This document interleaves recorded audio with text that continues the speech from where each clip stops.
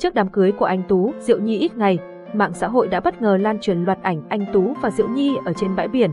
Trong những hình ảnh này, cặp đôi đang cùng nhau tạo dáng chụp ảnh cưới. Điều khiến ai nấy phải quan tâm là biểu cảm của nam diễn viên khi ôm vợ sắp cưới từ đằng sau. Theo đó, khi anh Tú đang hôn nhẹ lên mái tóc Diệu Nhi, nam diễn viên đã có biểu cảm nhăn nhó và đưa tay lên mũi, dân tình cho rằng anh Tú đã phát hiện mùi lạ trên mái tóc Diệu Nhi nên mới có hành động như vậy.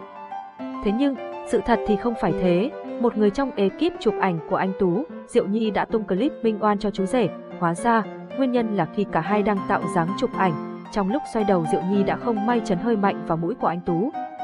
Chính điều này đã khiến nam diễn viên có hành động ôm mũi vì đau chứ không phải là người thấy mùi lại trên tóc Diệu Nhi như mọi người lầm tưởng, cơn đau cũng nhanh chóng qua nhanh. Sau đó cặp đôi lại tiếp tục chụp ảnh cưới và anh Tú còn hôn nhẹ lên tóc Diệu Nhi đầy tình cảm.